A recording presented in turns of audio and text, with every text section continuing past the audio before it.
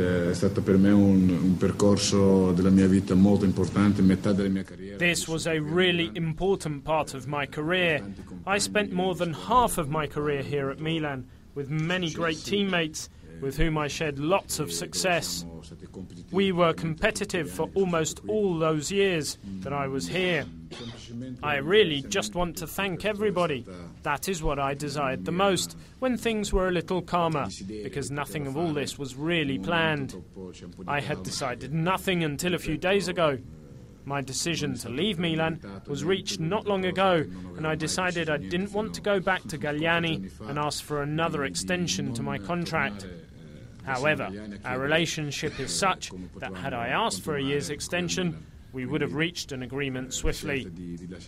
I am happy that I have reached this moment with the utmost tranquility, although it is always a sad moment because I'm leaving what essentially is a family.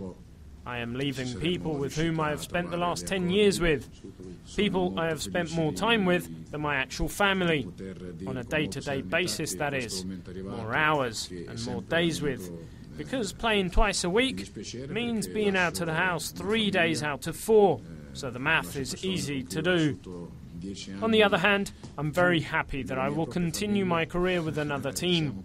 Because luckily, I can choose from some very interesting offers. It isn't an easy thing for me to do, so I want to choose well, so I will take my time about it. I just wanted to dedicate this morning entirely to you guys and to Milan, because I didn't want to mix this farewell with talk about my future and where I will possibly play. per fortuna posso